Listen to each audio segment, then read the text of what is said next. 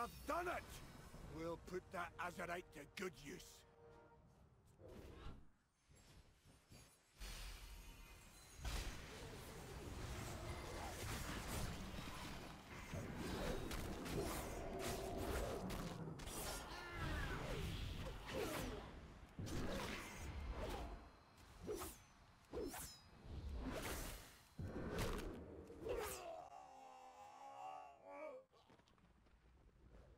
I don't think so.